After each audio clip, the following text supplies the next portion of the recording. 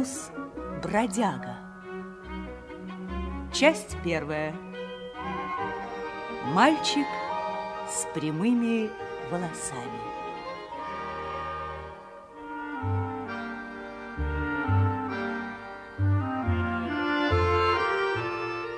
Расмус сидел на своей излюбленной ветке у самой макушки липы и раздумывал о вещах, которым на земле вовсе не место. Во-первых, это картошка. Ну, конечно, пусть остается отварная картошка. Особенно, когда ее с подливкой дают в воскресенье на обед. Но когда ее нужно окучивать, вот тогда хоть бы ее и вовсе не было. А без фрёкинхэк тоже можно прекрасно обойтись. Ну еще бы. Фрёкинхэк – начальница детского приюта, в котором живет Расмус. А слово «хэк» по-шведски означает «ястреб». Она объявила, завтра мы будем целый день окучивать картошку. Да-да, мы будем окучивать, сказала она.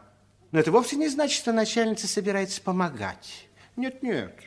Этим займутся Расмус, Гуннар, Петер и другие дети из приюта, которым придется весь долгий жаркий день батрачить на картофельном поле.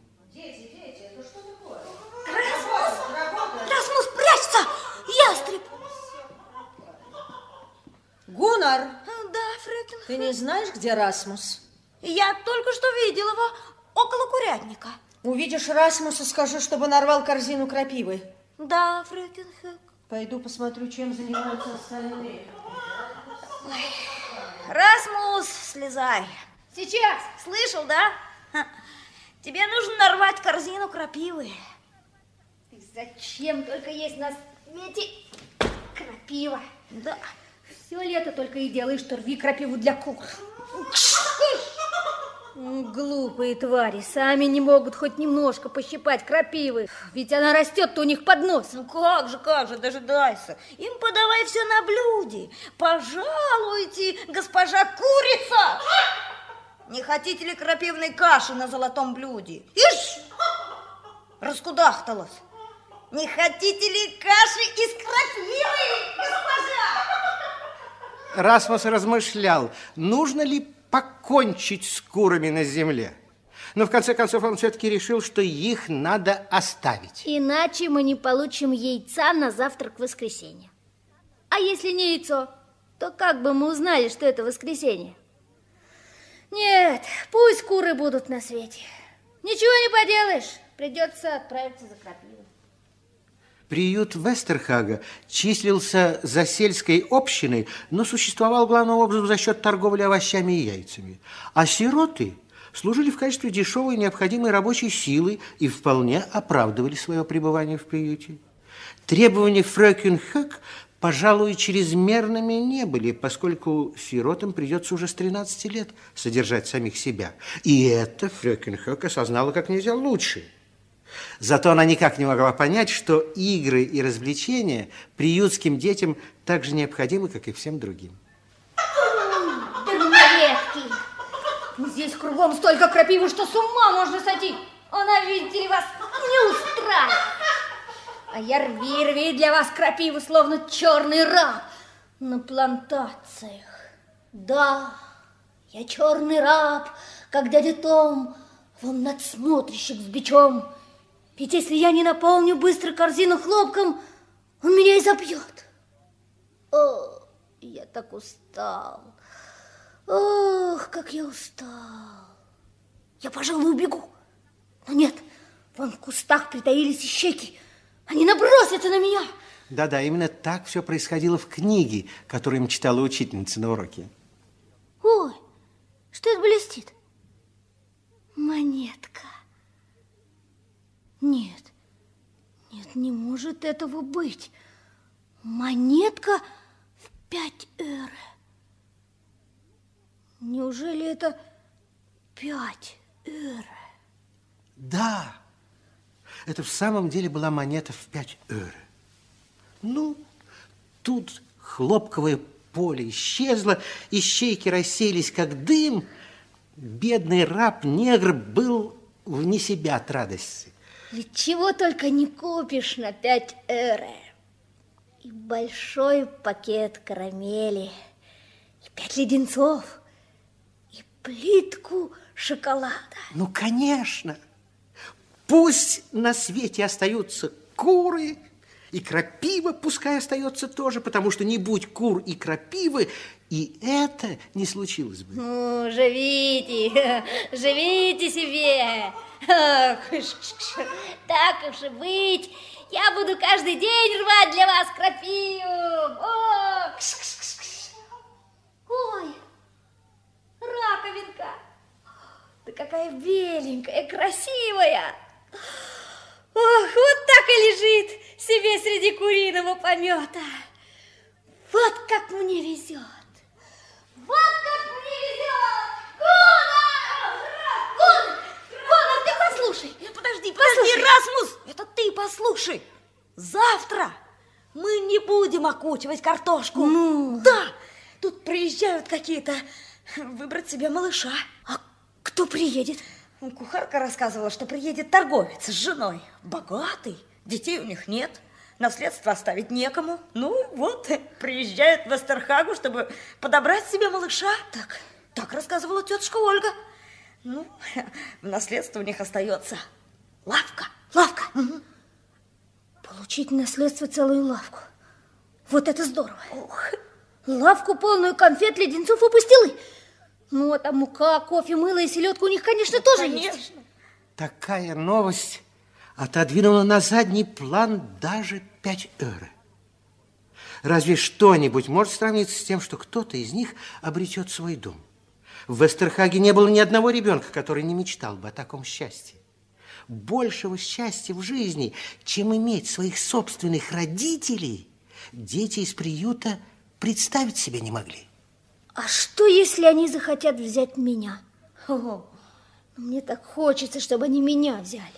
Не мечтай об этом. Они всегда берут девчонок с кудрявыми волосами. Значит, ты не думаешь, что могут найтись люди, которые захотят взять мальчика с прямыми волосами? Они берут девчонок с кудрявыми волосами, я же сказал. Ну, послушай-ка, Гуннар, ведь сегодня произошло столько чудес. Чудес каких? Ну да, я нашел пятеры и белую раковинку. Ой, О, везет же тебе, а? А. Это же целое богатство. Да, мне везет. Вот поэтому-то я и думаю, что, может быть, те, которые приедут завтра, захотят взять меня. Хм, Опять ты за свое. Ну что же, надейся.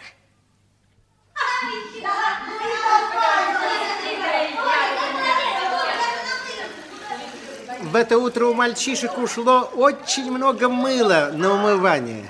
Блистающие чистотой уши и добросовестно вымытые руки, по словам ястреба, очень нравятся приемным родителям. Поэтому Расмус твердо решил, что в этот день чище его ушей не найдется в Вестерхаге. Правда, девчонки ведь ужасные чистюли. Грязь как будто бы к ним не пристает так, как к мальчишкам. Да, впрочем, они только и делают всякое такое, от чего можно быть только чище. Не буду я сегодня мыться. Плевал я на это дело. А, и я тоже не буду сегодня мыться. Гуннар, ты что, с ума сошел? Ведь ты же знаешь, кто сегодня приедет. А плевать мне на того, кто приедет. Все равно я мыться сегодня не буду. И я не буду. А я буду мыться. Валяй, валяй, мойся. А я тебе помогу. Пусти! Ну, у тебя это даром не пройдет. Сейчас я тебя выкупаю. Некотный мальчишка! Содержимое таза обрушилось на того, кто появился на пороге, а это была Фрекенхек. Но в таких случаях только один единственный человек может удержаться от смеха. Это тот, кто принимает душ на себя. И Фрекенхек отлично справилась со своим смехом. Отлично! Сейчас мне не до тебя. Непременно да чего обнаглели? Негодный мальчишка! Красота! Под хороший дождичек она попала. Вот ты красну! Нет, угоди! Ну ладно, Расмус, одевайся. Уйди! Ну ты же замерз, у тебя даже нос посинел. Это я. Я виноват, что ты облил ястреба. Не все ли теперь равно, кто виноват? За тяжелый проступок Фрёкинхэк собственноручно порола провинившегося плеткой из тростника. Если она ударит меня, я умру. Просто возьму и умру. Вот и все. Когда Расмус вместе с другими ребятами вышел во двор, Фрёкинхэк была уже в нарядном черном платье и на крахмальном белом переднике. Дети, дети, вы, может быть, уже слышали, что у нас сегодня будут гости. Приедет один господин со своей женой. Они хотят посмотреть на вас и немного с вами поговорить. А вы должны играть и держать себя, как всегда. Ну, разумеется, было бы хорошо, если бы вы вели себя чуть-чуть получше, чем обычно. Ну, а теперь играйте, играйте.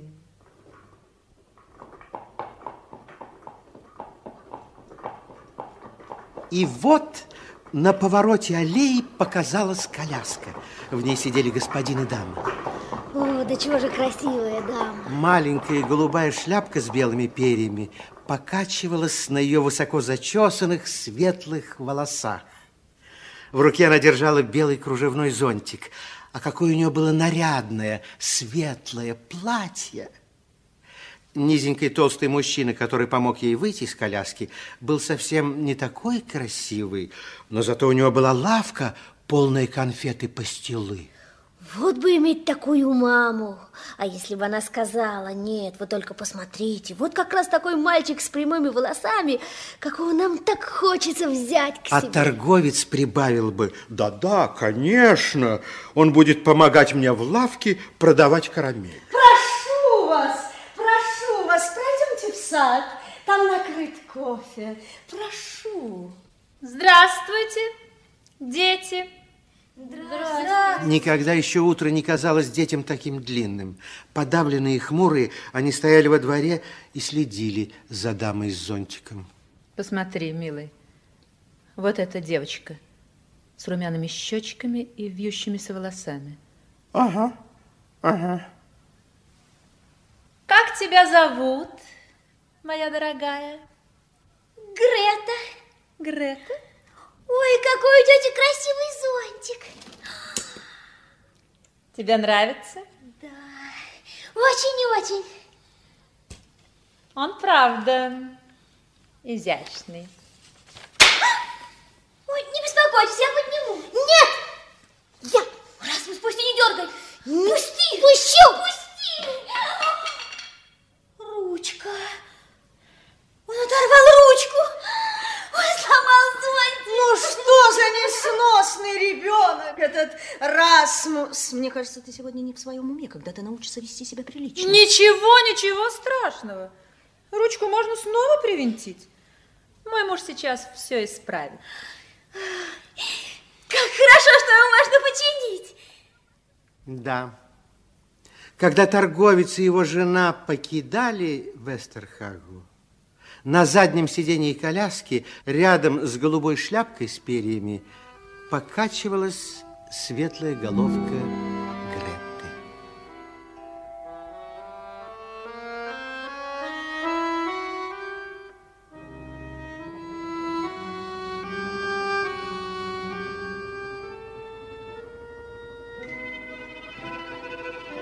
А Расмус исчез. Он отступил, спрятав свой позор и недостойные мужчины слезы в уборной.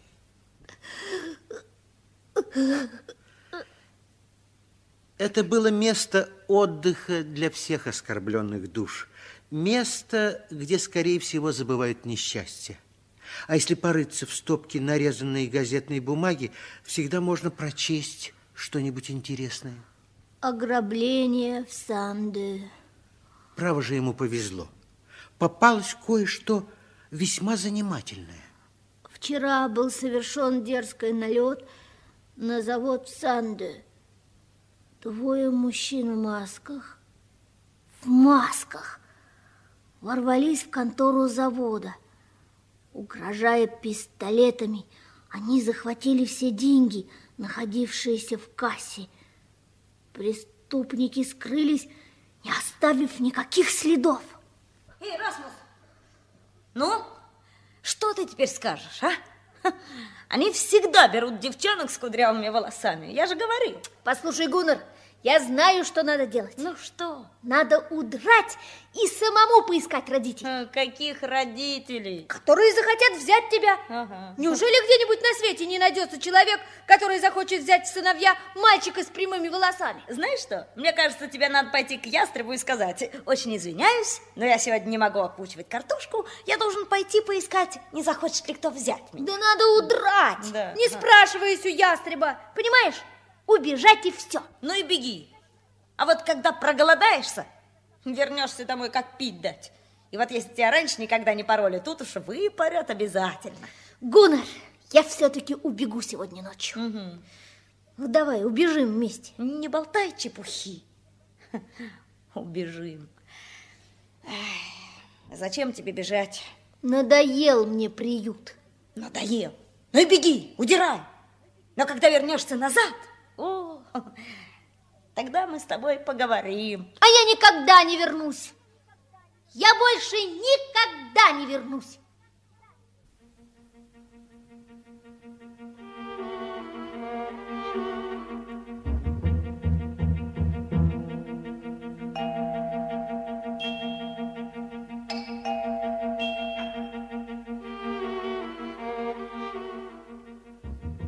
Короткая летняя ночь кажется такой долгой, когда шагаешь по дорогам. Испуганный и замерзший Расмус бежит со всех ног, стуча по земле голыми пятками. Он торопится. Проселочная дорога опасна. Можно встретить людей, которые догадаются, что он беглец. А кроме того, ястреб, может быть, даже пошлет вдогонку полицию. Одному так жутко на дороге. Ах, если бы Гуннар был сейчас с ним. Ужасно хочется поесть и отдохнуть. Веки начинают слепаться. Идешь и клюешь носом. Ноги от усталости отказываются передвигаться. Но вот, наконец, серый маленький сарайчик. Расмус с трудом отворяет тяжелую дверь. Внутри тишина и запах душистого сена.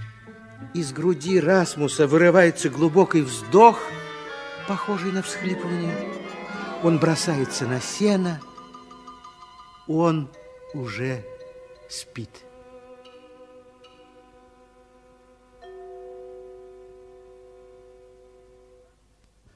Расмус проснулся от холода и еще от того, что соломинка щекотала ему нос. Через щель в стене в сарай тонкой струйкой лился поток солнечного света. Он так замерз, что зуб на зуб не попадал. И вдруг, вдруг Расмус почувствовал, что в сарае он был не один. Ой, кто здесь?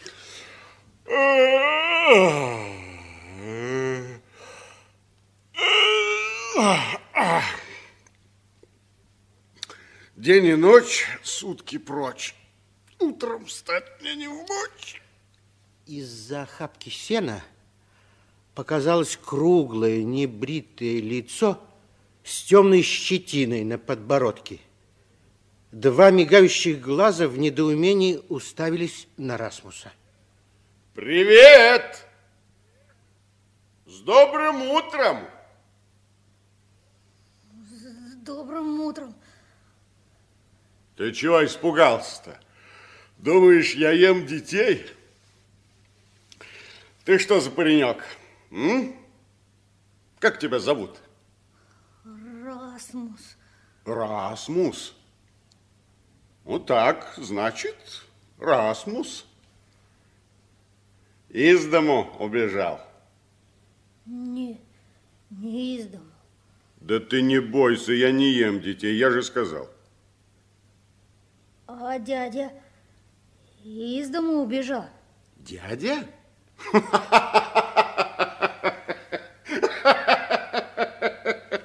Дядя! Разве я похож на дядю, а? Ой, убежал ли я из дому? Да, да, так оно и есть. Значит, дядя бродяга. Человек поднялся с сена, и Расмус подумал, что он должно быть в самом деле бродяга, потому что одежда у него была порядком потрепана, клетчатый потертый пиджак и брюки пузырями на коленях. Он был высокий, широкоплечий и выглядел довольно добрым. Меня зовут Оскар. Ты когда-нибудь слышал о Рай Оскаре? Не. Рай Оскар или праведная кукушка – это я и есть. А почему Оскар праведная кукушка? Кого-нибудь ведь нужно так называть. Должен ведь кто-нибудь бродяжить и быть праведной кукушкой. Богу угодно, чтобы были на свете бродяги. Угодно? Да, угодно. Раз он так утруждал себя, сидел, корпел над сотворением всей земли, значит, он хочет, чтобы на земле все имелось. Понимаешь? Да и что получилось бы, если бы было все, кроме бродяг? А? Вот и выходит праведная кукушка. Да. Ну, а сейчас неплохо и позавтракать. Вот у меня тут в мешке бутерброды и бутылка молока. Он развернул газетную бумагу и извлек бутерброды. Большие, толстые, из ржаного хлеба. Расмус увидел, что бутерброды со шпиком, а ничего вкуснее шпика. Расмус не знал. Ты, наверное, не станешь есть простой бутерброд со шпиком? М? У Расмуса от голода побелел нос. Он старался глядеть в другую сторону, но это было совершенно невозможно. Такие, как ты, по утрам едят, наверное, одну кашу с изюмом. М? Обыкновенный простой бутерброд со шпиком ты, наверное, не захочешь. Да, конечно. Но если можно, я, конечно. Ну, это же. Не говоря ни слова, Оскар протянул ему бутерброд. Расмус запихнул его в рот и откусил. Вкус соленого шпига чудесно смешивался с ароматом ржаного хлеба. Он закрыл глаза и ел. Молока? Да, спасибо. Ох, как вкусно. Еще бутерброд? Угу. А можно? У вас хватит. Да, пожалуйста. Не все крестьянки жадные.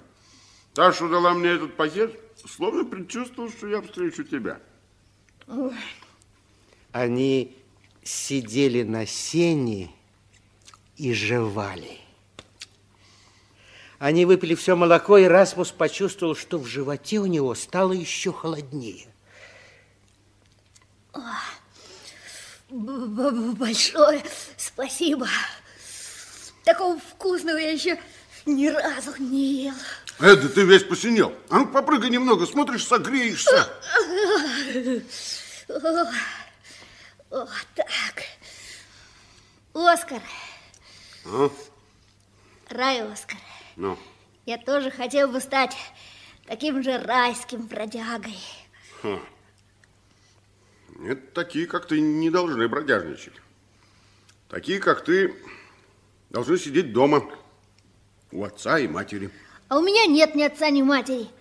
У меня нет ни отца, ни матери, и я как раз их ищу. Ну, можно мне побродить с тобой, пока я их ищу? Кого ты ищешь? Ну, Кого-нибудь, кто захочет взять меня. Ну, вот как ты думаешь, может, найдется человек, который захочет взять мальчика с прямыми волосами?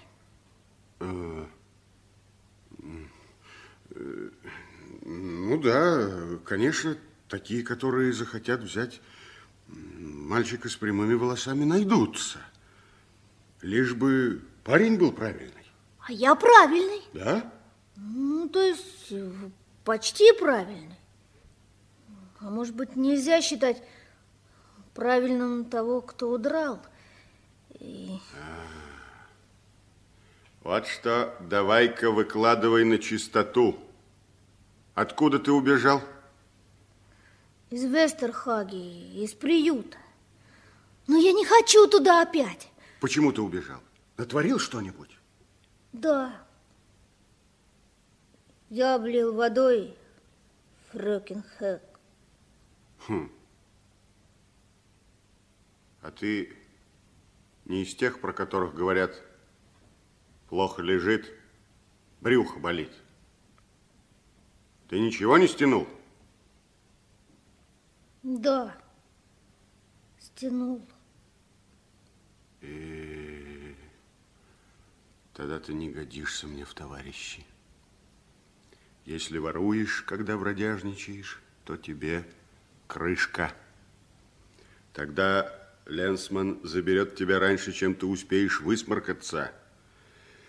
Нет, брат, тогда ты мне в товарищи не годишься. Ну, Оскар, милый Оскар, Милый, это тебе не поможет. Ты что стянул? я... Сухарь. Сухарь? Когда я собрался бежать, надо было взять чего-нибудь поесть. И вот я и взял сухарь.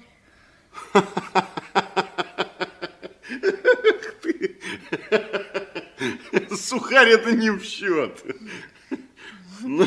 Значит, все-таки можно стать такой же праведной кукушкой, как ты. Да. Сухарь это пустяки. Ну, значит, мне можно быть твоим товарищем, да. Вот побродишь со мной немного, и мы посмотрим, будет ли нам вместе хорошо. Ну, спасибо, Оскар. Мне уже, уже хорошо. Оскар извлек из мешка гармонику, бережно завернутую в кусок красного одеяла. Вот она, моя кормилица. С котомкой за спиною Иду через поля. Ну, а теперь, если мы хотим заработать себе на обед, отправимся бродить по дворам, будем играть и петь. Не потому, что чувствуешь себя такой уж певчей птицей, а просто другого выхода у нас нет. Пошли?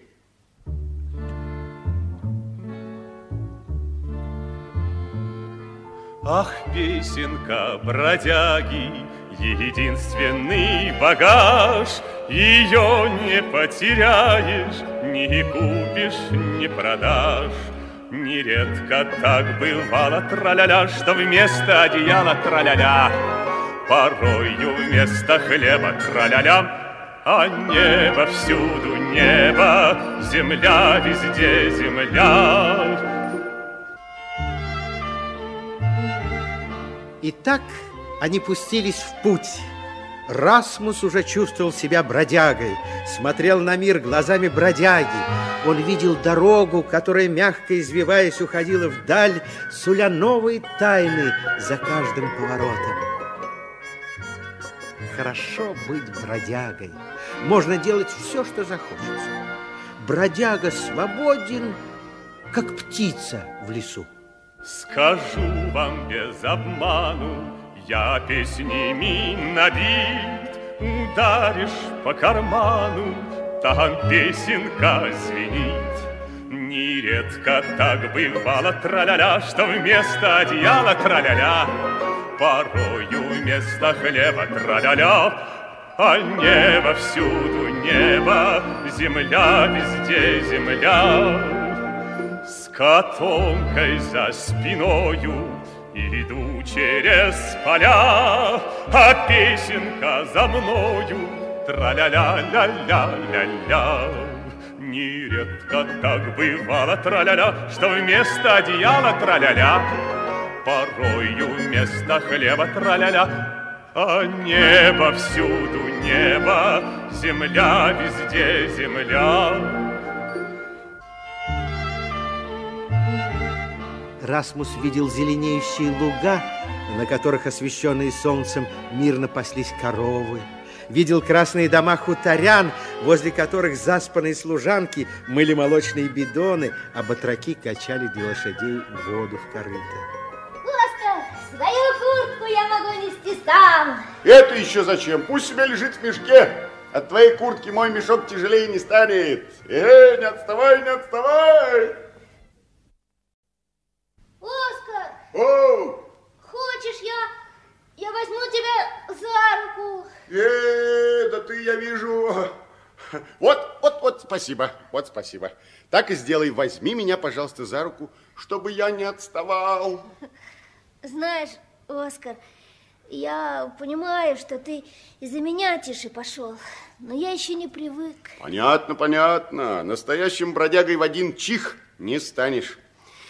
Да нам совсем и не обязательно нестись вперед, словно мы к вечеру должны быть на краю света. Конечно. Неплохо будет, если мы придем туда, ну, э, завтра. Расмуса распирала от чувства благодарности к Оскару за его доброту. Ему хотелось как-то вознаградить его, принести ради Оскара какую-нибудь большую жертву или что-нибудь подарить ему, чтобы Оскар понял без слов, как сильно он его любит. У дороги им попалась лавка. Небольшой такой сельский магазинчик, где можно купить все, что угодно. Оскар, А? любишь леденцы? Ясное дело, люблю. Наверное, все люди любят леденцы. Но, понимаешь, как раз сейчас у меня нет денег. Ударишь по карману, лишь песенка звенит. Так что я ничего не могу купить. А я могу. Да? Видишь? Пять эро. Вот это да. А ну-ка, беги, купи леденцов. Сейчас. Ударишь по карману, там песенка звенит. Вот, можешь взять все. Сейчас посмотрим, какой взять. Нет, я хочу, чтобы ты взял все. Нет уж, все хорошо в меру. Вот одного такого леденца с меня вполне хватит. А остальные мы сбережем. В жизни могут встретиться испытания, и тогда неплохо иметь в запасе леденец. Под вечер они сделали привал. Позади остался жаркий день и долгий-долгий путь. Ну, Расмус, давай-ка разведем костер, чтобы отогнать комаров, и поужинаем. Э, там бутерброды остались. У, опять про вчерашних воров. Никаких следов грабителей Санды. Полиция прочесывает местность. Оскар, а где же ты Санды? Э, да это не больше трех-четырех миль отсюда. Так, Ну что ж, будем разжигать. да, давай. Вот так. О, вот в это. О, горит. Ну и кусаются же эти комары. Стой, не шевелись. Оп, оп. Готово. Ну, а сейчас мы поедим, а потом пойдем и всхрапнем. Вон, видишь, хороший сеновальчик. Ага. Весь хутор спал, когда они на цыпочках прошли по мосткам и устроились на сеновале. Ну-ка, ложись-ка. Я по- покрою тебя сеном. Вот так. С Вот этой так, стороны. Да-да. Чтобы комары не съели. Один нос торчит. Ну, как себя чувствуешь? Хорошо. А, только пятки немного болят. До свадьбы заживет, как сказал парень, свалившись с телегой с обрыва в озеро. Ну, а теперь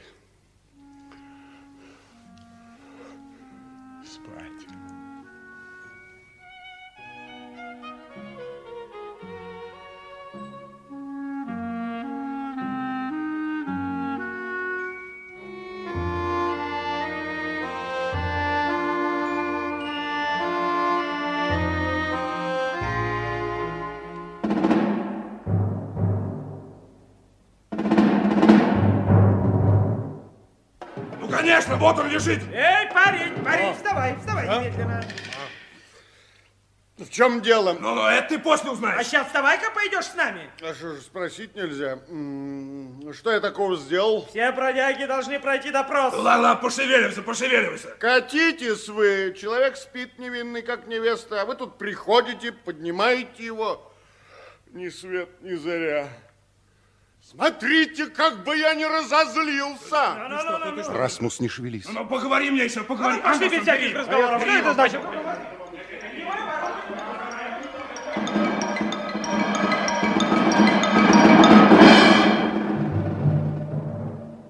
В щелку сарая Расмус видел, как полицейские увели Оскара. Сердце Расмуса стучало, как молоток. Они отняли у него Оскара. Что могло быть хуже?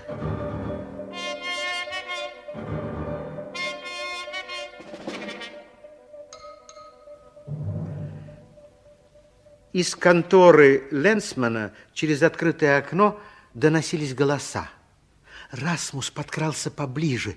У окна росли кусты жасмина, за которыми он и укрылся. Господин Ленсман, ну и собачья жизнь у бродяг в этой стране. Ведь все, что не случись, валят на нас. Спокойно, Оскар, спокойно. Нам бы хотелось узнать, что вы делали в прошлый четверг. Э, в прошлый четверг Да. в этот день э, я ел горошек со свининой. Так.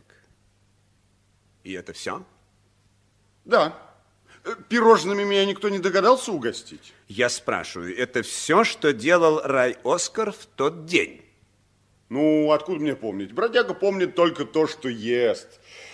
Я не веду счет дням. Но я точно помню, что я не раздваивался, не надевал маски, не крал денег. За всю свою жизнь я не украл и двух эре. Ну что ж, придется этому поверить. А не знаете ли вы, Оскар, э, кто сейчас из ваших э, коллег находится в этих краях? Коллег? Да, коллег. Э, Что вы хотите этим сказать? Это что, воры? Нет, нет, я имею в виду бродяг. Елки-палки. Так это называется коллеги на вашем языке. Человек может ходить, бродить всю жизнь и думать, что он обыкновенный, простой бродяга. А он, оказывается, коллега. Кого из других бродяг вы видели в этих краях за последнее время? В Шивика я встречал. Шевика. М, Семь дьяволов. Семь дьяволов И домового. домового. Но они не грабители. Это так же верно, как то, что меня зовут Рай Оскар. Ну, хорошо, хорошо. Тогда, пожалуй, мы выпустим рай Оскара. Еще бы. Когда человек невинен, как невеста, это все-таки смягчающее обстоятельство. Можете идти. Мое почтение, господин Ленсман. Оскар вышел из конторы с мешком за плечами и зашагал по улице прочь из городка. Расмус бежал за ним с легким сердцем, а когда Оскар завернул за угол и оказался вне поля зрения Ленсмана, Расмус сунул ему свою руку. А, это ты, мой дружок. Я. А я уж думал, что ты один отправишься бродяжить, раз я попал в кутузку. Ну что ты, я не такой. А потом я знал, что ты скоро выйдешь.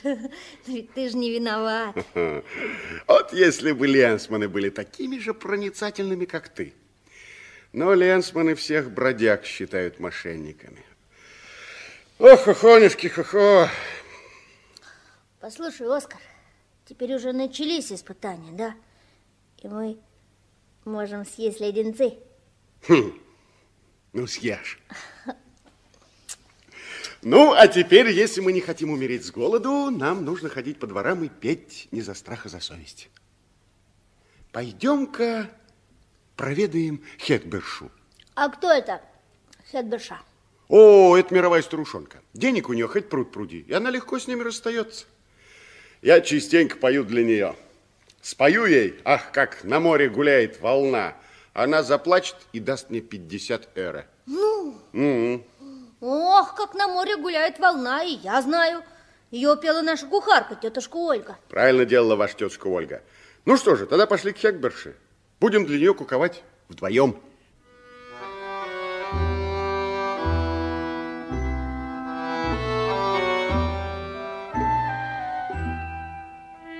Дом Хедберши находился на окраине городка. Старая зеленая вилла пряталась в тени развесистых кленов. По садовой дорожке они подошли к дому.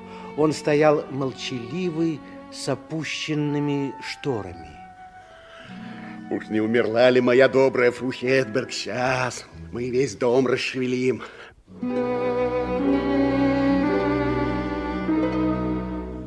Ах, как на море гуляет волна, Но мне и волна бы была не страшна, Если б на том берегу стоял мой любимый.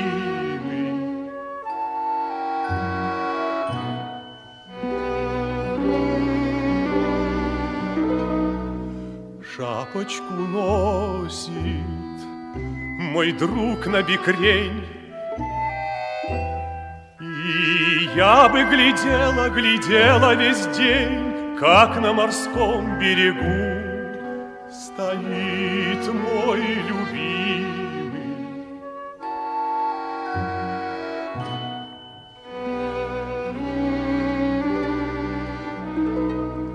Я б через море без страха плыла, Я шапку поправить ему бы могла, Знать бы, что будет моим, дружок мой любимый.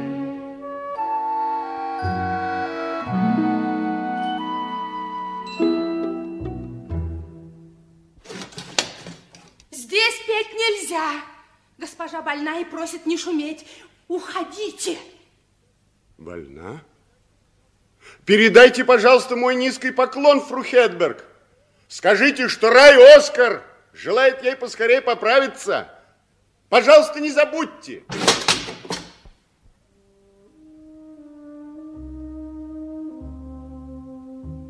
Ну и злыдня. Пойдем, малыш. Ой, Оскар, я умираю, пить хочу. Ну, как ты думаешь, можно мне пойти и попросить воды, хотя фру Хедберг больна? А почему бы и нет? Не откажется же служанка дать тебе воды. Давай, живо, а я тебя здесь подожду. Я сейчас, быстро! В прихожей никого нет. А может, в эту дверь? С минуту он помедлил, потом отворил дверь и вошел в комнату.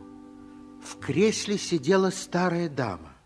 Она уставилась на него, словно увидела привидение. Та самая служанка стояла рядом и тоже как-то странно посмотрела на него. Я хотел попросить воды. Я хочу пить. Старая дама, словно парализованная, не сводила с него глаз. Анна Стина. Дай мальчику напиться. Сейчас принесу из кухни. Почему она так смотрит на него? Почему у нее такой до смерти напуганный вид? И почему она не лежит в постели, раз ей не здоровится? Вы, тетя, очень больны? Нет. Я не больна. Не больны? На, пей. А, Довольно болтать. спасибо. Расмус пил большими глотками, обводя глазами комнату. Это был просторный господский дом. Какой красивый и богатый. На полу лежал толстый ковер, а на двери в следующую комнату висела портьера. Но с портьерой происходит что-то странное. Она шевелится. В самом деле, портьера шевелится. Из-под бахромы высовывается ботинок. Мужской ботинок из светлой кожи с черным лакированным кантом. За портьерой стоит мужчина. Это совершенно очевидно. Может быть, они играют в прятки? Но Расмуса пугали глаза, фру Хедберг. Никогда еще он не видел таких испуганных глаз. Что-то неладное происходит здесь. Он чувствовал это, и ему захотелось поскорее уйти. Спасибо за воду. Давай. Ты уже уходишь. Может быть, ты смог бы... А что я смог бы? Нет, ничего. Лучше иди. И Расмус ушел удивленный и обеспокоенный. Может быть, она хотела сказать, что он смог бы как-то помочь ей.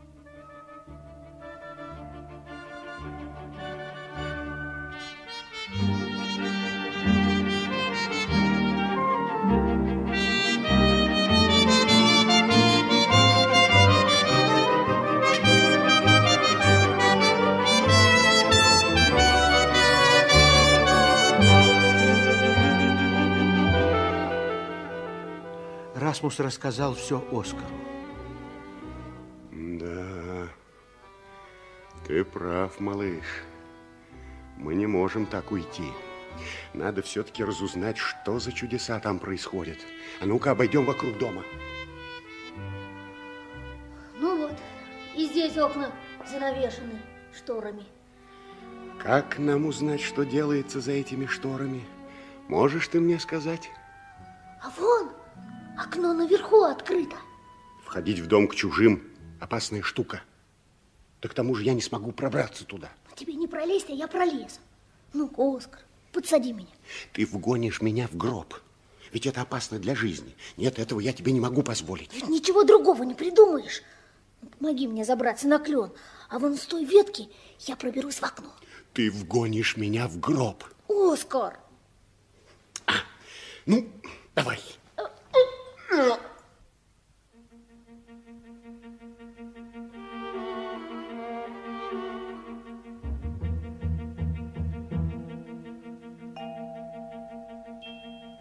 Расмус попал в заваленную одеждой гардеробную. А вот лестница в нижний этаж.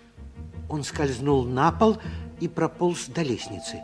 Теперь можно было просунуть голову сквозь балясины перил и посмотреть вниз. Нет, нет, не надо. Скорей, Умоляю. Спокойно. Фру Хедберг сидела все в том же кресле и плакала. Рядом стояла Анна Стинна. Из угла комнаты вышел мужчина. Двое мужчин в масках. Да-да, у них у обоих на лицах были черные маски. А у одного из них те же самые ботинки. Нет, нет, только не ожерелье. Берите все, только не ожерелье. Оно достанется моей дочери. Замолчи. Моей дочери. Замолчи. Умоляю, не надо. Тот в ботинках с лаковым кантом спокойно разглядывал ожерелье, пропуская золотую цепь между пальцами. А? Леандр, как ты думаешь, это ожерелье стоит тысяч пять-шесть, не меньше, а? Да не тельца ты. Не спеша он засунул ожерелье в карман и продолжал рыться в вещах. Другой же застыл у двери, и теперь Расмус разглядел у него в руках пистолет, направленный на фру Хедберг. А, Господи Иисусе! Старуха никак приставилась. Эй, вы, послушайте, ей очень плохо. Лив, Леандр, что мне делать? Это уж твоя печаль. Леандр, я позову доктора. Не выдумывай. Но ведь она при смерти. Да уймись ты. До самого вечера не приведешь сюда ни доктора, ни Ленсмана. Заруби себе это на носу. Ну, как я все объясню? Ну, скажешь, что старухе было очень плохо, и ты не посмел оставить ее одну. Я так боюсь. Я не хочу впутываться в такие дела. Милая госпожа, очнитесь. Очнитесь, милая госпожа. Запомни, что я сказал. Мы пошли. Очнитесь, я не хотела впутываться в это дело. О.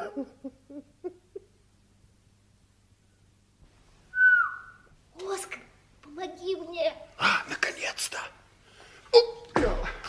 Ты видел их? Видел грабителей? Я не видел ни одной рожи после того, как ты исчез. Ох, и заставил же ты меня попотеть.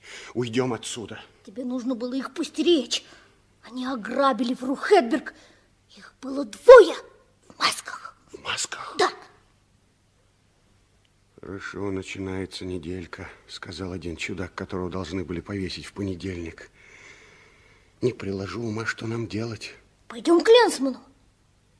К Ленсману? Да он тогда наверняка засадит меня в кутузку. Он подумает, что уж с этой фру Хедберг без меня не обошлось. Ну, а если ты скажешь, что ты не виноват? А, фу ты, ну ты. Выходит, стоит мне сказать, что я не виновен, он расклонится и отпустит меня. Нет уж, к Ленсману я пойти не отважусь. Уйдем отсюда. Другого выхода нет.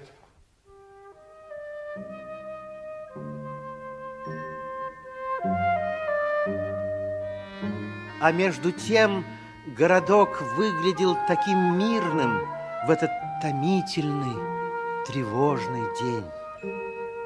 Они бродили от одного двора к другому, и при первых аккордах гармоники служанки бросали в кухне недомытую посуду и висли на окнах. Даже благовоспитанные дамы украдкой выглядывали из-за штор гостиной и посылали детей отнести им несколько медных монет. Расмус собирал выручку. Какая-то чудесная профессия быть бродячим музыкантом. Я тоже буду ходить по дворам и петь, когда подрасту. Да неужто тебе так нравится петь? Нет, мне больше нравятся монетки в 5 эре, понимаешь? Ну, если тебе так нравятся пятиэрики, на, возьми парочку.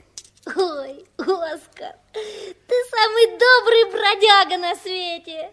Когда добрый, а когда и злой. Пойдем купим что-нибудь пожевать. Пошли. Пока они ходили по дворам, зарабатывая себе на обед, жизнь в этом мирном городке порядком изменилась. Люди группами стояли на перекрестках, и волны всевозможных сплетен захлестывали городок. Не мешало бы послушать, что они там болтают. Расмус, на к тебе денег. Ступай в лавочку, купи что-нибудь к обеду. Да не забывай держать ушки на макушке. Хорошо, я сейчас.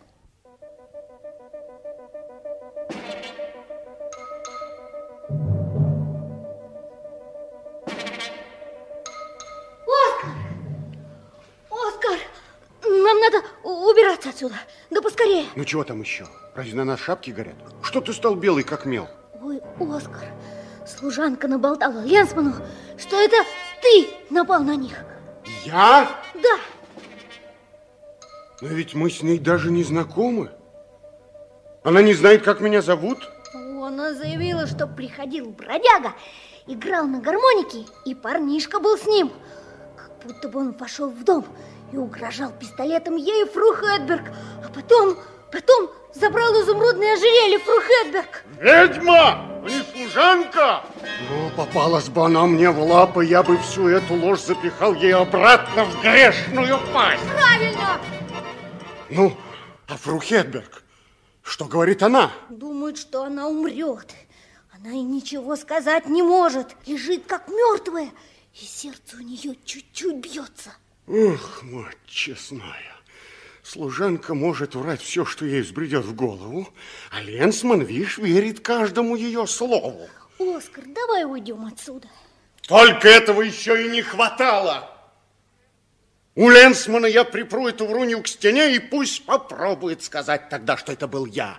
Оскар, тебя же заберет Ленсман.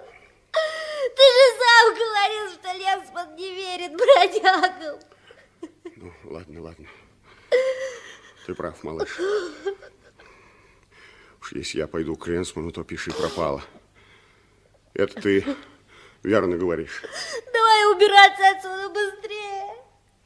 Но не так просто уйти из города, где теперь каждый житель выслеживает бродягу с гармонию. Им повезло. По безлюдным улицам тайком выбрались они из города. Вот, спасаемся бегством, точно двое убийц, рецидивистов. Но ведь ты-то совсем не виноват, Оскар. Невинен, как невеста. И я тоже. А ты подавно. Фу. Как хорошо снова очутиться на большой дороге. А куда мы сейчас идем? В одно местечко, где можно спрятаться. Ручаюсь, такое место навряд ли тебе приходилось видеть.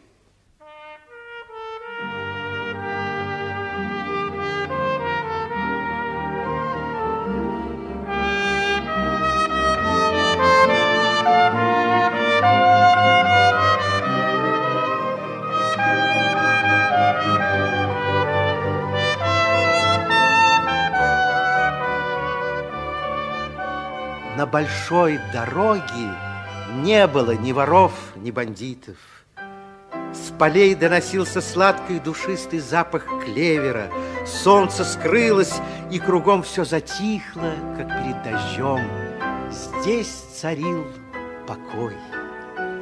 Величественные, словно корабли, проплывали по небу серые пышные облака, а под ними, насколько хватал глаз, извивалась дорога, одинокая и пустынная.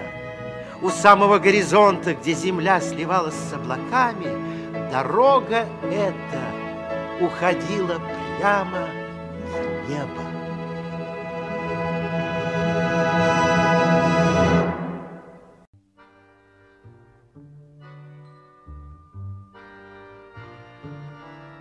Часть вторая. Дом с привидениями.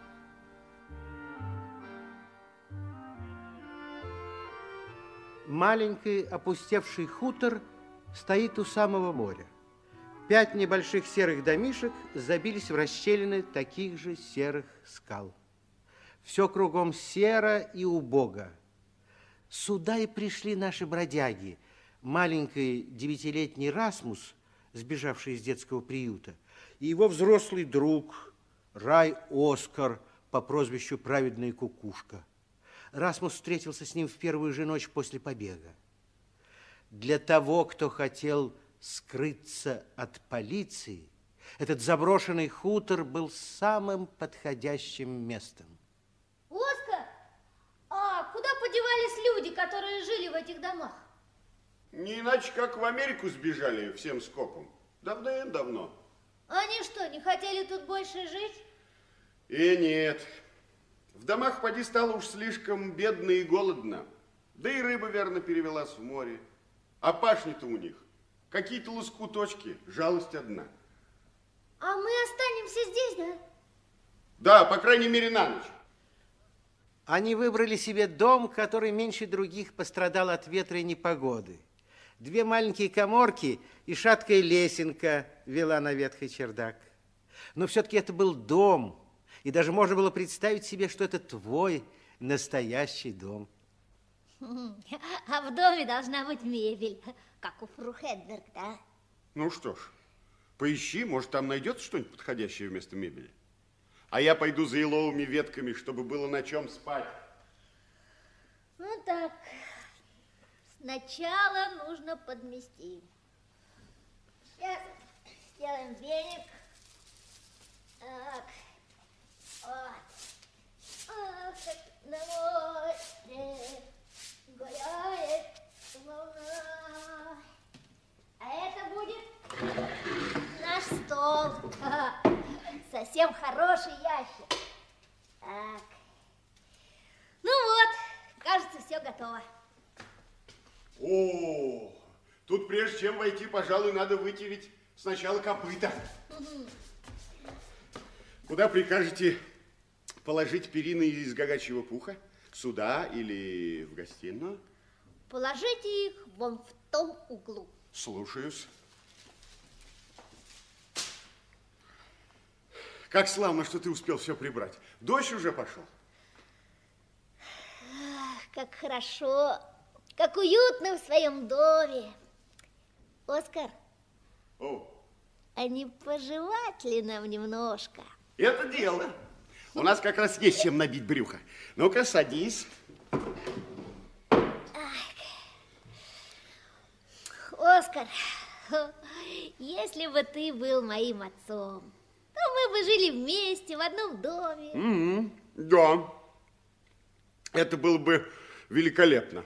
Отец, бродяга. Зажили бы мы с тобой на славу. Расмус призадумался. Все-таки отец-бродяга – это, конечно, не совсем то, о чем он мечтал, когда сбежал из приюта в надежде отыскать себе приемных родителей.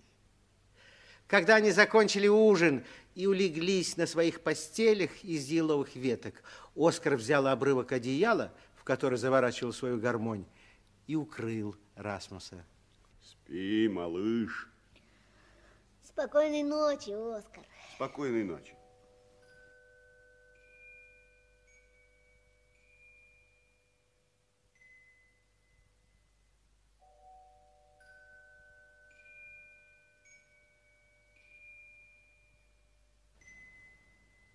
Отец, он накрывает меня красным шелковым одеялом. А мама уехала и пишет домой письма. Я скоро вернусь и всего-всего привезу с собой. Потеплее укрывай Расмуса по вечерам и не жалей для него красного шелкового одеяла. С моря подул ветер, и в домике проснулось много удивительных звуков. Скрипели стены, а из разбитых окон доносились какие-то вздохи, стоны. Где-то распахнулась дверь, которая стучала и хлопала. Тот, кто хочет здесь уснуть, не сомкнет глаз ни на минуту. Это уж как пить дать. Оскар, послушай, здесь водятся привидения? Вдруг они придут и заберут нас? Увидишь призраков, передай им от меня, пусть скорее бегут топиться в море, а то появится Оскар праведная кукушка и устроит им бледную жизнь. А наша кухарка, тетушка Ольга, один раз видела белоголовую собаку, а из горла у нее вырывалось пламя. Ха-ха. Видать, у кухарки самой головы не было. Никаких привидений нету.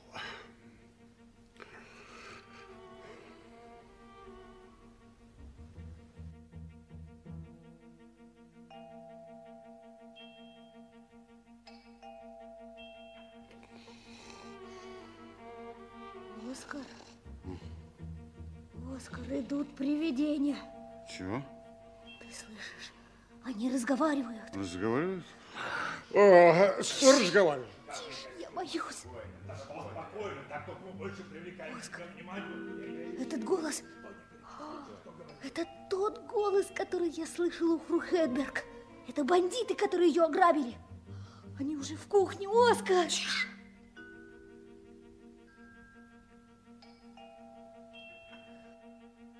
Положись на меня. Тебя. Я за то, чтобы прихватить добычу, да смыться отсюда поскорее. Я беру это на себя. А по-моему, лиф выжидать дальше опасно. Я хочу улизнуть отсюда поскорее. Не пари горячку, Леандр. Не годится нам ни с того ни с сего уматывать отсюда, как раз когда у старухи пропало ожерелье, понял? Мы никогда не были в Санде, понял? Совесть у нас чиста. Мы поживем в гостинице до конца недели и заметем следы, ясно? Ну, кто станет жить в гостинице в нескольких милях от Санде, да еще целых две недели, ежели совесть у него нечиста? Понял? Да чего тут не понять, ты мне об этом сто раз твердил.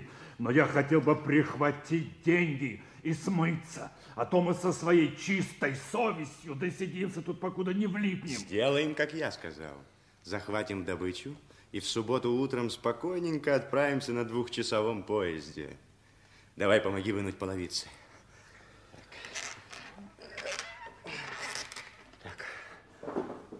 Вот оно. Наше сокровище. Душа радуется, когда видишь такое богатство. А? Думаю, ожерелье стоит тысяч пять-шесть, не меньше, а, Леандр? А мне все-таки очень хотелось бы побыстрее отделаться от него. С этой Анной Стиной, служанкой старухи, дело дрянь. В компании с бабьем обделывать делишки все равно, что рыть себе яму. Трусишь? Просто чую недоброе. Что будет, если вдруг старуха чухается? Этому не бывать, она и так уже зажилась на свете. А вдруг она придет в себя и расскажет все, как было, а судья вытянет из Анны Стины всю правду. Каркаешь весь день, слушать осточертела. Анна Стина не попалась, да и старуха уже больше не разинет клюв. Здесь наш клад в надежном месте, куда удобнее, чем взрывать в лесу. Давай все уложим обратно. Так, теперь половицы на место. Так. Ну что ж, пошли? Потопали. Постой, Леандр. Пойду посмотрю, нет ли в той комнате моей трубки. Помнится, я оставил ее на окне. Расмус крепко прижался к Оскару, напуганный до того, что у него кружилась голова. Дверь рванули, и карманный фонарик осветил пол. Посреди комнаты стояла великолепная мебель Расмуса. Но конус света, не задерживаясь, метнулся прочь от ящика. Грабитель, видно, не нашел ничего странного в том, что он там стоял. Эй, ты! Твоя трубка здесь! Она лежит тут на окне. А, ладно. Ну, тогда пошли. Ух, пронесло. Идем-ка взглянем на этот надежный тайник, который ничего не стоит отыскать. Пресвятой Петр, да чего же интересно. Пошли в кухню. Ну-ка, держи свечу. Так, проверим половицы. Нет, не это. Не это. Это тоже крепко лежит, а? А, а, а нашел. Ну-ка, вынем доску. Поднимем. Ямка. Пакет.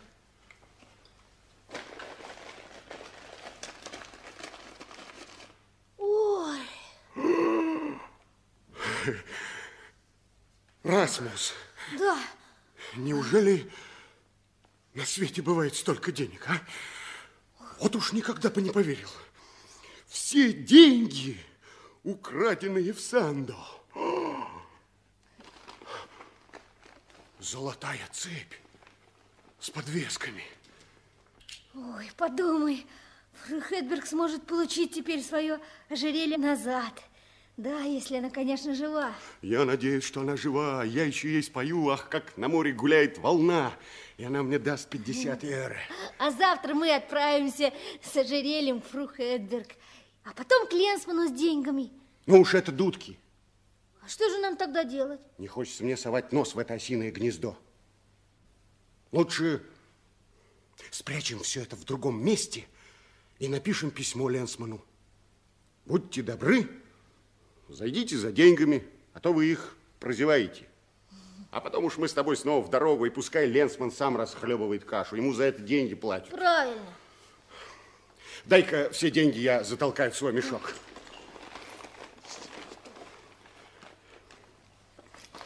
Ожерелье. Примерим тебе, Расмус. Да ну, А что? да не ну. Ну, сделаем из тебя красавца хоть раз в жизни. Вот так. Застегнем. Вот. Теперь ты выглядишь, ну, э, как царь Соломон во всем своем великолепии. Ну, Только вот ты веснушками Соломона перещеголял. Да, и волосы у меня прямые. А! Слышишь? Скорей, скорей, к дверям. Черт, поздно. На, на чердак, на чердак, быстро. У тебя мозги на бекрень, если ты не сообразил поднять тревогу. Ящик ведь сам не мог притопать сюда. Уж до этого ты мог по крайней Сразу-то я не взял в толк. Знаешь, как иной раз бывает? Смотришь на вещи, как будто ее не видишь, а потом, немного погодя, вдруг бац, словно обухом тебя по голове.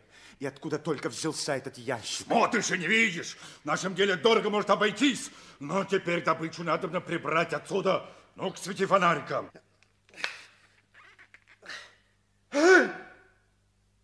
Пусто! Ограбили! А дьявол! Так и знал! Скорее за ними! Далеко не уйти не смогли! Стой! Сперва мы проверим, нет ли их в доме. Там, на чердаке. Грабитель бросился вверх по лестнице и с разбегу наскочил на сжатый кулак Оскара. Ты мерзавец драться! Еще один шаг, и я пристрелю тебя! Беги! Расмус! Беги! Лив, ожерелью мальчишки на шее! И Расмус побежал. Словно загнанная мышь метнулся Расмус вверх по лестнице. Под чердачным окном тянулась крыша кухонной пристройки. Расмус прыгнул на крышу, с нее на землю и помчался так, что только ветер свистел у него в ушах. Стой! Стой! Ах ты проклятый мальчишка! Стой! Грабитель настигает Расмуса. Он все ближе, ближе. Они бегут через всю деревню к морю. В море упираются веткие мостки, а рядом полузгнивший лодочный сарай. Расмус вбегает на мостки, Лив гонится по пятам, но тут...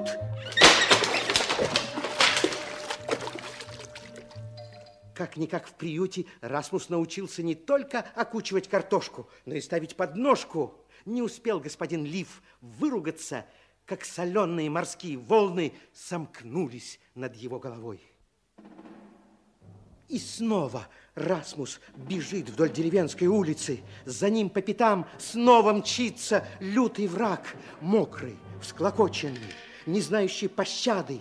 Вот на пути картофельный погреб. Совершенно обессиленный, мальчик пытается скрыться во мраке погреба. Лив немедля врывается вслед за ним. Но ведь кроме подножки имеется множество других подвохов, которым можно научиться в приюте в Вестерхаге. Например, подкараулить противника у входной двери, и когда тот опрометью врывается в нее, стремительно выпрыгнуть на улицу за его спиной. Это как раз и делает Расмус. Быстрый, как ласка, он выпрыгивает на улицу, захлопывает дверь и поворачивает ржавый ключ. Открой!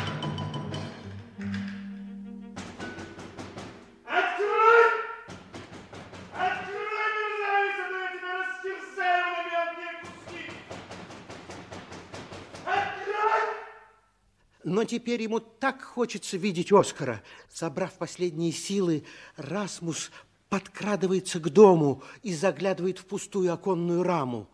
Там спиной к окну стоит Леандр, а на другом конце комнаты Оскар с поднятыми вверх руками. Давай, пали! Одним бродягой больше или меньше на свете невелика беда. Уж будь уверен, пальцы меня так и зудят. Ежели я тебя сразу не пристрелил на месте, то только потому, что не хотел огорчать Ленсмана. Он ведь горит желанием засадить тебя за разбой. Это тебе известно. И за то, что ты ограбил госпожу Хедберг. Это тебе тоже известно. Господи, бывают же такие свиньи, как ты. Ну, а если я возьму и расскажу Ленсману, что вы с Лифом за птицы? Во-во, попробуй сунься. Хм, А ты сам разве не струсил? Только из-за того, что фру Хедберг еще придет в себя и даст кое-какие показания. А, ты, а ты глупее, чем я думал. Неужто ты не соображаешь, что сам с треском влопаешься, лишь только попытаешься засадить нас? Ежели у тебя в черепушке есть мозги, то уберешься отсюда подальше, постараешься держать язык за зубами и сторонкой обходить эти края. М, А после всю жизнь дрожать, как только увижу полицейского? Ну уж нет. Не могу понять, откуда только берутся такие гады, как ты и Лив. Ох, я бы тебе сейчас с удовольствием залепил здоровенную оплеуху. Под окном валялся обломок старой доски. Расмус подобрал обломок, быстро поднялся и со всего размаха треснул обломком по правому локтю Леандера. Пистолет упал на пол. Оскар бросился на Леандера, и они кубарем покатились по полу. Каждый из них старался схватить пистолет. Расмус! Пистолет! Пистолет! Сейчас! Расмус схватил пистолет, выбежал в сени, плача пустился бежать к прибрежным скалам и с гримасой отвращения швырнул пистолет в воду. Расмус! Ты здесь! Давай сматывать удочки. А где Леандр? Леандр, Леандр прилег отдохнуть у плиты на кухне. Ну а где Лив? Я его запер в картофельном погребе. Молодец! Король вояк, я вижу, ты не робкого десятка. Ой, Оскар, я ужасно боюсь. Лив скоро вырвется из погреба, ведь там дверь совсем гнилая. Ничего, ничего, а куда ты девал пистолет? Пистолет? Ты не рассердишься, а? Ну? Я, я бросил его в море, ведь он может тебе понадобиться. А? Все идет как нельзя лучше, сказал тот, у кого на голове уже горели волосы. Ну, какие мы с тобой стрелки из пистолета, ты да я. А ну-ка, прибавим шагу и уйдем отсюда.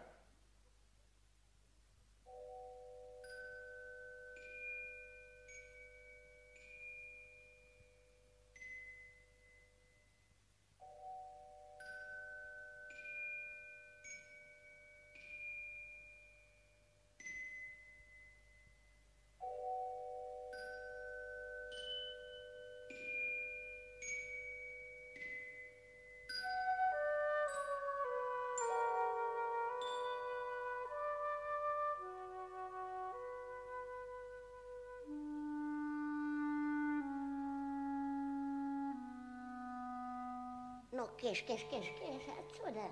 Киш, киш, киш. Нечего вам тут делать. Ох, и жаль мне бродяг. Вечно-то они скитаются по дорогам, и в рай им уж никогда не попасть. В рай? Да. Э, не попасть. А. Проснулся малыш. Ты ведь тоже не откажешься выпить глоточек кофе. Ну, кофе и ломоть хлеба. Эх, тебе еще придется съесть, ох, сколько хлеба, прежде чем ты станешь мужчиной. Парнишка настоящий вояка. Вот он кто на самом деле-то. Но подкрепиться хлебом ему во всяком случае не помешает. А, Расмус? Конечно. Расмус совсем не помнил, как он попал сюда, в дом старенькой крошки Сары. У него осталось лишь смутное воспоминание о том, как Оскар нес его на руках, а над ним с криком проносились чайки. Проснувшись, Расмус огляделся. Это была бедная комната, грязная и захламленная, но какое великое счастье очутиться здесь. В ней было так уютно от того, что на огне шипел трехногий кофейник, и у очага балагурил Оскар. Крошка Сара налила Расмусу кофе, потом взяла нож и отрезала ему большой ломоть ржаного хлеба. Ну. Спасибо. Масло получишь в следующий раз. Сейчас у меня его нет. Крошка Сара добрая. Она всегда печется о бродягах. И обо мне тоже, когда бы я не пришел. Да уж она-то, конечно, попадет в рай. Да-да, уж, конечно, не то, что ты. Да. Ну ладно. А теперь о Ленсмане. Лучше всего, если крошка Сара немедля отправится к нему с письмом. Ой, ну разговаривать я с ним не стану. Ни слова ему не скажу. Только отдам письмо и пойду. А то он поднимет шум, почему я до сих пор не переехала в богадельню. Не надо, не говори ему ни слова. Раз он получит письмо, то все обойдется. Да ну, сперва мне надо покормить кур. Цып-цып-цып-цып-цып-цып-цып. Пошли, мои хорошие, я покормлю вас. Пошли, мои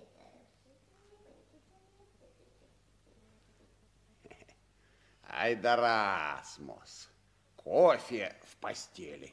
Вот это да. Ну, а теперь гляди-ка, что я сочинил, пока ты лежал и храпел.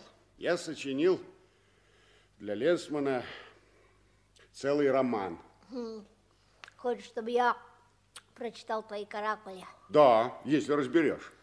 Так. Так, я... Я этого не делал. Я невинен, как невеста. Верно? И Ленсман должен поверить мне. Там в Санде орудовали два фрукта, их звать Лив и Леандр. А Ага. живут они в гостинице, если еще не переехали. И у фру Хедберг были тоже они, хоть ее служанка врет и говорит, что я, мол, тут ни при чем. Ведьма. Так, а ожерелье я пока припрятал. И деньги тоже. Верно. Прочитайте тут на приложенной бумаге, где я спрятал их. Ага. Ленсман должен забрать эти деньги, а я буду странствовать по дорогам. Мне хочется быть свободным, раз я невинен, Э, как невеста. так как невеста, Ага. да, да.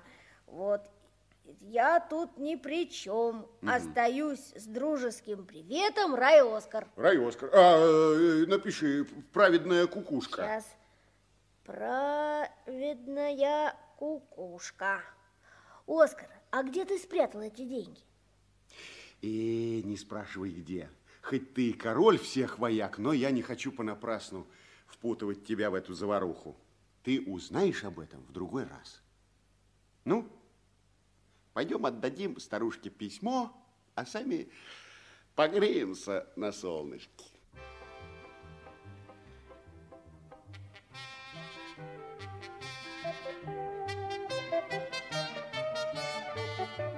Они растянулись на мягкой траве. От сосен, охранявших домишко крошки Сары, доносился запах смолы. Прибежал беленький котенок и доверчиво ластился к мальчику. Расмус блаженствовал, предаваясь покою.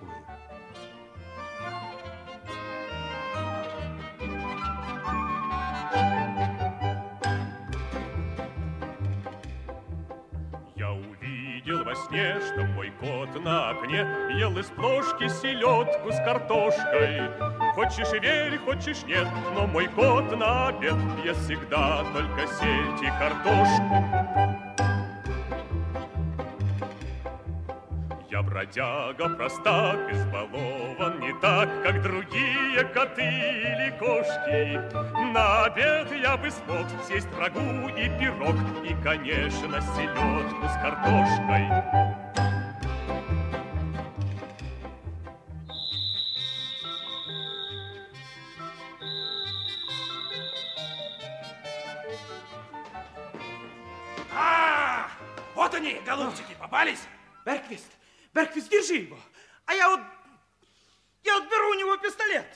Да нет у меня пистолета. Что? Ее у меня никогда и не было. Но ты ври больше. У меня не водилось даже пугача, когда я был мальчонкой. Хотя я плакал и умолял родную мать купить его. А ну-ка пошли в полицейский участок. Пойдем. Пойдем. Я хочу сам поговорить с Ленсманом. Ишь ты, с Ленсманом. Ленсман сейчас в гостях, он придет на службу только завтра. В гостях? А я невинный, как невеста, должен идти в Ну, тюрьму? ну, ну, ну, мы уже слышали об этом. На этот раз ты уж сядешь за решетку и по делам. Такие, как ты, опасны для общества. Да ты же баран. Что? Эй, приятель, можно назвать мне его бараном в мундире? Или за это полагается наказание? Ну, конечно, полагается, Ну, ну, ну, ну, ты не придуривайся. Ну, а ежели я встречу самого настоящего барана и назову его Берквистом, за это меня никто не посадит в тюрьму? Берквист, настоящий Берквист. Вот ты кто! Андерсон! Посади его во вторую камеру, а завтра Ленсман задаст ему жару. А с малышом что будем делать? Он сбежал из Вестерхаги, следовательно, мы должны его туда и направить. А где он? Где он? Удрал, паршивец. Ну ладно, ладно, бери этого, пойдем. А Расмус мчался вниз под гору, не разбирая дороги, и налетел прямо на своих заклятых врагов. Ай, м, полегче на поворотах. Как раз с тобой-то нам и хотелось повстречаться. Вот здесь, за этим высоким забором, нас никто не увидит. Тут-то мы с тобой и потолкуем. Ну-ка, живо отвечай, а то тебе не сдобровать. Где твой приятель, этот бродяга? Оскара забрала полиция. Что? Что ты сказал? Значит, он влип. Плохо, черт. Ты понимаешь, Лив, на кого он будет валить всю вину? Нам надо сию же минуту сматывать удочки. Спокойно. И ты живо отвечай. Деньги у Оскара были при себе, когда его забрали? Да говори, а то я из тебя душу вытрясу. Куда он девал деньги? Он их спрятал в потайном месте, но я не знаю где. Ясно, что парень всю вину начнет валить на нас, и если сейчас же мы улизнем, то это то же самое, что расписаться перед Ленсманом в своей виновности. Надо сматываться. Спокойно, в этом положении нам нельзя терять голову. Малец, ты был, когда Ленсман допрашивал Оскара? Ленсман еще не видел Оскара. Он сегодня в гостях целый день. Ха, понятно. У него не будет времени допрашивать кого-либо. Слава и хвала Богу. Послушай, малыш, что ты скажешь, ежели мы вызвали Оскара из Кутузки? О, вы были бы очень добры, если бы освободили Оскара. Да, мы уж и так добры, дальше некогда. Ну, открывай теперь шире уши, слушай внимательно и запоминай, что я скажу. Ведь тебе потом придется пойти пересказать все Оскару. Нет, нет, я не могу. Они меня снова загонят в приют. Делай, что я тебе говорю. Ты тайком проберешься к Оскару. Тюрьма помещается в маленьком домике во дворе у Ленсмана. Ты можешь с Оскаром поговорить через решетку с глухой стороны тюрьмы. Ты ему скажешь, что мы придем и высвободим его сегодня ночью. Папаша Леандр имеет колоссальный опыт по взлому замков. Видишь ли, мы хотим получить обратно, но эти деньжата. Нам необходимо в ближайшее время переменить климат, а это чего-нибудь достоит. Но нет, Оскар не согласится. Он получит ожерелье. Ему останется только признать, что мы порядочные люди. Ну, ступай, ступай скорее. Скорее.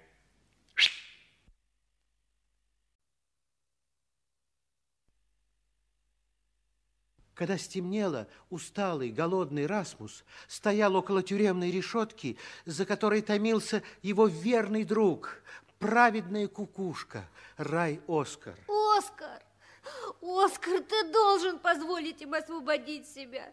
Ведь у меня кроме тебя никого нет. Ох, Хонюшки, хо-хо, ты же сам понимаешь, что нам не след водить компанию с ворами. Разве тебе не вдомек, мальчуган? Но ведь тогда мы снова сможем бродяжничать.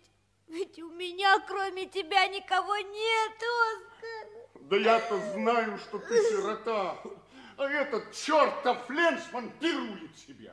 Ну уж теперь я доберусь до него, если мне придется даже перевернуть кутузку. Идите сюда все берквисты и все бараны в мундирах. Пока я не перевернул кутузку, я хочу говорить с Ленсманом. Тащите сюда Ленсмана! Оскар. Ну, пеняйте на себя, если я сбегу отсюда сегодня ночью.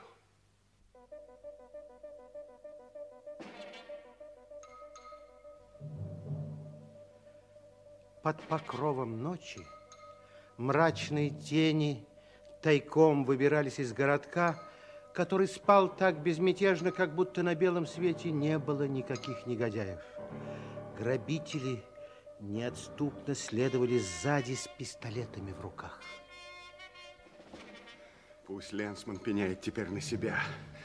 Видит Бог, я сделал все, что в моих силах. Конечно. Где ты спрятал деньги? Вот здесь, в каменной гряде. Сейчас я ваши деньги раскопаю. А, вот. Вот этот симпатичный сверточек. Берите ваши грязные деньги. Пересчитай их, Лиф, он, наверное, стибрил порядком. Ну-ну-ну, ты вошь! Ну? Подержи пока пистолет, Леандр, а я посчитаю купюрки. О, миленькие. Ожерелье положим на всякий случай в карман. Эй, ты послушай, ожерелье это не твоя забота. О нем я как-нибудь сам побеспокоюсь. Отдай ты ему ожерелье, пустая твоя голова. Неужели ты не понимаешь, что это единственное средство заткнуть ему рот? Тогда ведь он станет соучастником. Отдай ему ожерелье. Соучастником? Я не собираюсь быть соучастником воров и бандитов. Но мне нужно ожерелье, чтобы вернуть его фру Хедберг. Можете вы уразуметь это своими воровскими черепушками? Нет, ты слышал, что он сказал?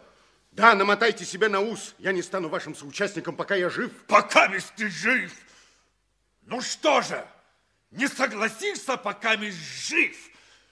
Но есть получше средство заткнуть тебе рот. Ты меня понимаешь? Не смей! Не стреляй, сумасшедший ты что ли? Я буду сумасшедшим, если я этого не сделаю. Здесь налицо два лишних свидетеля, и я предоставляю им случай навсегда остаться на этом кургане. Не стреляй! Ой, Оскар, ты убит! Я? Нет, не, не убит. Стой! Стой! Руки вверх! А, попались, голубчики? Ну, Эрквист, наручники на этих! Оскар, полиция! Гляди-ка, и Ленсман. Я протестую. Я протестую. Вот перед вами бродяга. Это на него надо надеть наручники. Пожалуйста, взгляните на этот клеенчатый пакет, который он прятал здесь в камнях. Ну-ну-ну, кончай заливать! Господин Ленсман, клянусь вам, что я не винен, как невеста. Да, Оскар, я стоял за той елью, все видел и знаю, что ты действительно невинен, как невеста. Берквист, Андерсон, арестованных в тюрьму! Есть! Я протестую. Господин Ленсман, ну интересно, как же это получилось? Как вам удалось прибыть на место тютелька в тютель? Но ведь я получил твое письмо, Оскар. Ворвалась такая маленькая ядовитая старушонка и прямо за праздничным столом вручила мне письмо. Как только я его прочел, сразу понял, что Оскар невиновен. А я не стану глупей, если признаю мои ошибки. Фу, хорошо, что наконец все проясняется. Анну Стину уже арестовали. А фру Хедберг вчера вечером пришла в себя. Значит, фру Хедберг поправится. Так Анна Стина уже в тюрьме? Ну, конечно, когда мы нацелились засадить ее за решетку, обнаружили, что наша праведная кукушка дала тягу. Мы неотступно следили за вами все это время. Берквист, Андерсон и я. Этот Берквист баран. А, может быть, может быть. Но он один из лучших стрелков из пистолета во всей стране. В чем ты только что сейчас убедился, когда он выстрелом вышиб пистолет из рук Леандера. Это точно. Никогда еще ни один баран не был так кстати. Ну, господин Ленсман, теперь я, стало быть, свободен и могу отправляться, куда глаза глядят. Конечно, конечно, конечно, иди, иди. Ну, а как нам быть с этим маленьким удальцом из Вестерхаги? Расмус не стал ожидать, что Ленсман скажет дальше. Он понесся так, словно спасался от смерти. Расмус! Расмус! Подожди меня! Расмус! Расмус, да ведь это же я, Оскар. Оскар. Расмус. Оскар, не позволяй ему забрать меня. Я хочу быть с тобой. Ох, хохолюшки, хохо. Наверное, меня все-таки посадят в тюрьму. Но теперь уже за кражу детей.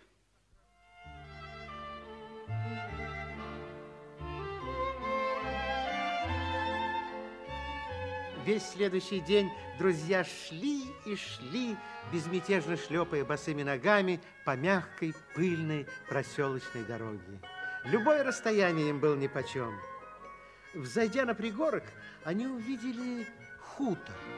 Красный дом возвышался на самой вершине холма. Освещенный лучами солнца, он казался необычайно гостеприимным. Ах, песенка бродяги, единственный багаж, Ее не потеряешь, не купишь, не продашь. Нередко так бывало траля-ля, что вместо одеяла траля-ля, Порою вместо хлеба траля-ля, а небо всюду небо, земля везде земля. Скажу вам без обману, я песнями набит, Ударишь по карману, там песенка звенит. Нередко так бывало траля-ля, что вместо одеяла траля-ля, Порою вместо хлеба траля-ля, а небо всюду небо, земля везде земля. С котомкой за спиною Иду через поля, А песенка за мною Тра-ля-ля-ля-ля-ля-ля. Нередко так бывало траля-ля, что вместо одеяла траля-ля, порою вместо хлеба траля-ля, а небо всюду небо, земля везде земля.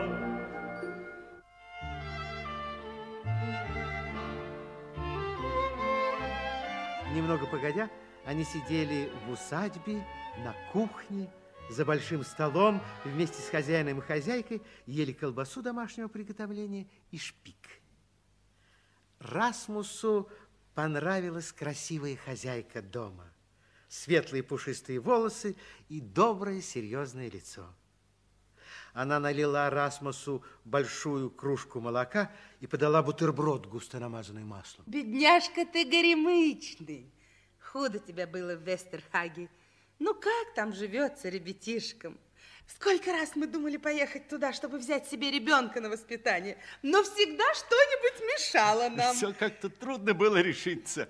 Вы, наверное, хотели взять девочку. Нет, Нет, нет. Нет, мы думали о мальчонке. Ведь у нас хозяйство, и своих детей нет. Некому будет позаботиться о хуторе, когда мы состаримся. Да, мы думали взять мальчика. С вьющимися волосами. Как это ты угадал? Я прямо-таки видела его перед своими глазами, такого кучерявенького. Ну да.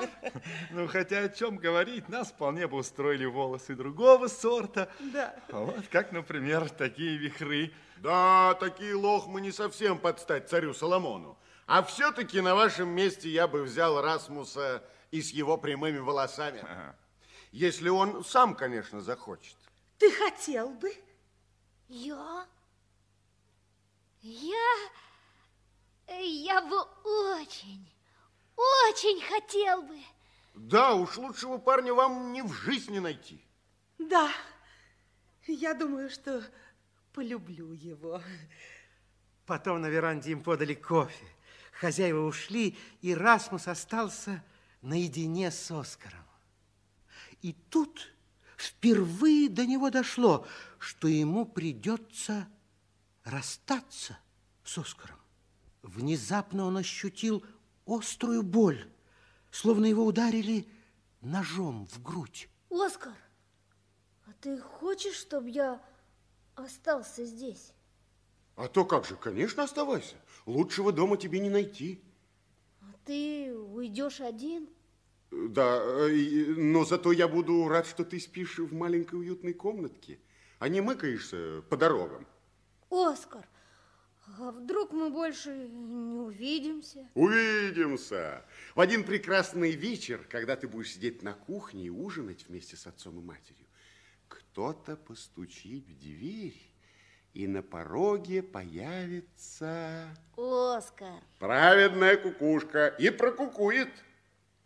Не пустите ли меня переспать одну ночь? А ты там сидишь сытый, толстый, веселый и отвечаешь так. Ну, конечно, Оскар, какие могут быть разговоры? Разве это не забавно? Оскар, а ты придешь? Приду, так же непременно, как э, аминь в церкви. Ну, малыш, смотри веселее. Тебе будет хорошо. А сейчас давай простимся и обнимемся перед разлукой. Прощай, Расмус. Нет! Нет, Оскар! Я хочу быть с тобой. Ты должен разрешить мне остаться с тобой. Расмус. Расмус, ну посмотри. Ну, Вот чудак, ну перестань, слышишь? Ты посмотри, посмотри, какой красивый хутор. И здесь ты можешь остаться жить. Вот сейчас привезут молоко, а ты будешь править лошадьми. А когда вернешься домой, пойдешь посмотреть щенят, поболтаешь со своей матерью, отцом. Я хочу быть с тобой, Оскар. Но ведь ты же останешься со своими собственными родителями. Подумай только. Ты их так долго искал. А разве ты не можешь быть моим родителем? Родителям, родителям, отец бродяга. Разве такое бывает? Неужто ты хочешь, чтобы твоим отцом был бродяга.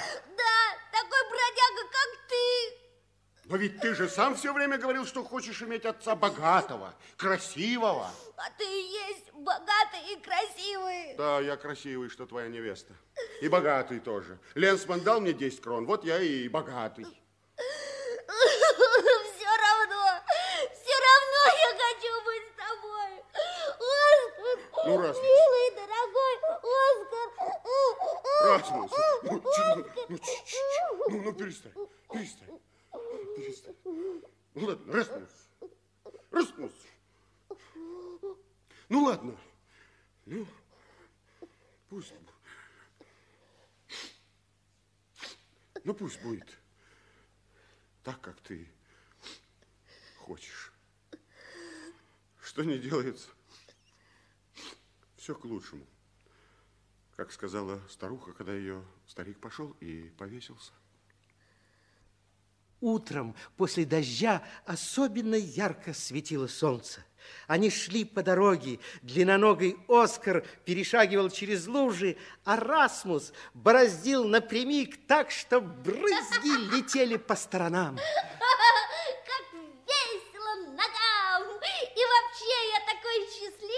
Да, наверное, хорошо себя чувствуешь, когда отделаешься от большой усадьбы с лошадьми, коровами и всем наследством. А знаешь, Оскар, о чем я думаю? Нет, ну, наверное, что-нибудь умное, дельное. О, я думал, что когда бродяжишь, то все, что видишь, твое. Ну, тогда ты не прогадал. Господи, до чего же зелено и красиво в эту пору. И все это наше, и березы наши, И озеро наше, и рощи, и колокольчики, и лужи наши. и дорога. Это большая дорога наша.